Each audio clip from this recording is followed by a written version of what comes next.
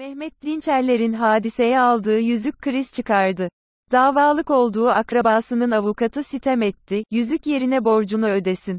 Şarkıcı hadiseye, sevgilisi Mehmet Dinçerler tarafından hediye edilen 40 bin dolarlık yüzük Dinçerler ailesine ait 3 şirketin konkordato davasına damga vurdu. Şirketin kurucu ortağı amca Mehmet Dinçerler'in avukatı, 40 bin dolarlık yüzük alacağına borcunu ödesin. Alacaklılar zarara uğratılıyor, dedi.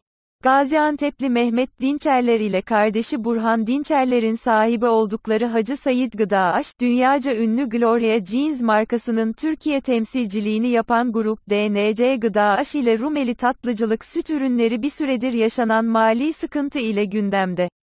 Ticaret Mahkemesi 3 şirkete yönelik konkordato kararı vermişti. Ancak bir kısım alacaklının itirazı üzerine İstanbul Bölge Adliye Mahkemesi verilen kararı kaldırmıştı. İstinaf Mahkemesi'nin verdiği bu karar sonrası dosyaya bakan Bakırköy 1. Asliye Ticaret Mahkemesi yeni bir bilirkişi raporu aldı. Kararın kaldırılması sonrası ilk duruşma ise önceki gün yapıldı.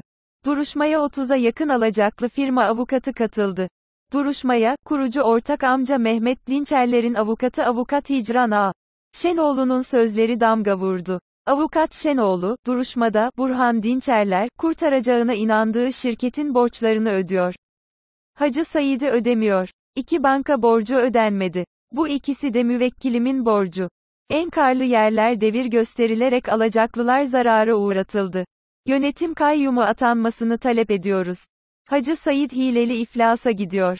Kasada bir ay içinde 4 milyonluk eksilme var, dedi.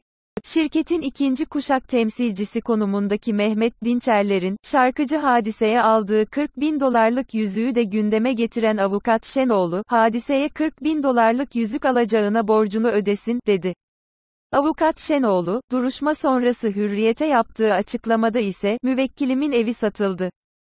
Böyle bir dönemde 1 milyon liralık düğün yaptılar. Bir ay içinde kasadan 3,5 ila 4 milyon liralık eksilme var, diye konuştu.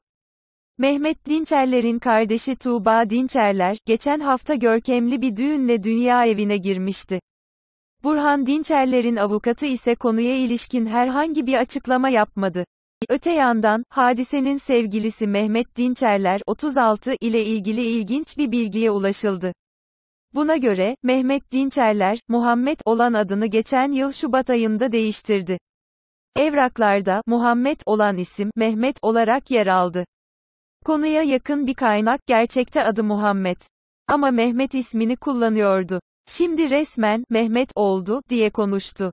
Videomu beğendiyseniz like atmayı ve kanalıma henüz abone değilseniz abone olmayı unutmayın. Yeni videolarda görüşmek üzere hoşçakalın.